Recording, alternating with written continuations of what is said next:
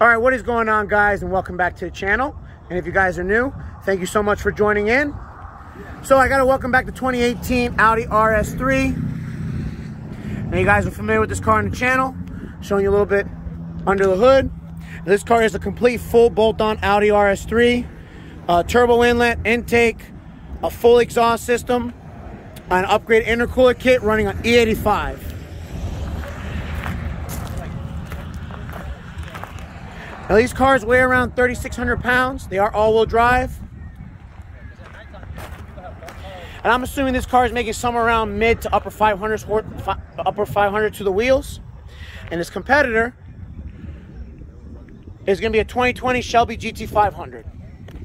Now, last time the Audi, Audi RS3 raced the GT500 it was a carbon fiber track pack, and he lost pretty bad. So now we want to just see how he does up against a base model, just for comparison's sake, to see if the carbon fiber track package was a little bit faster.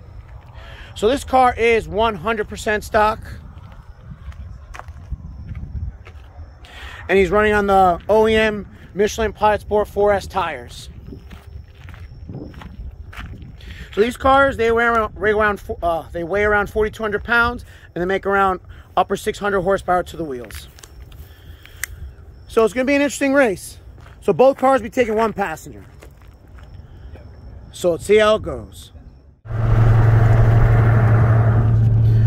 right, guys. So I'm here in the RS3 again. And the first race we're to do is from 50 miles an hour. And we're to be in second gear.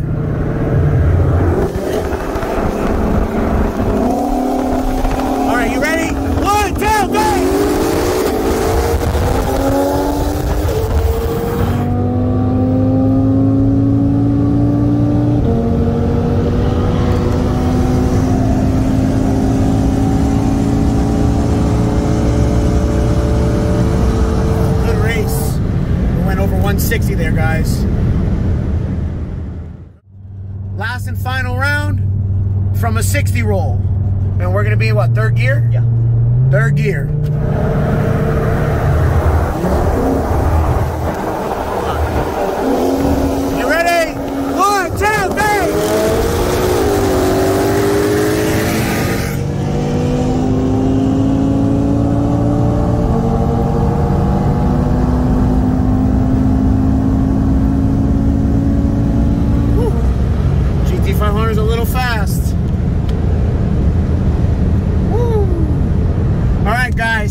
finished here.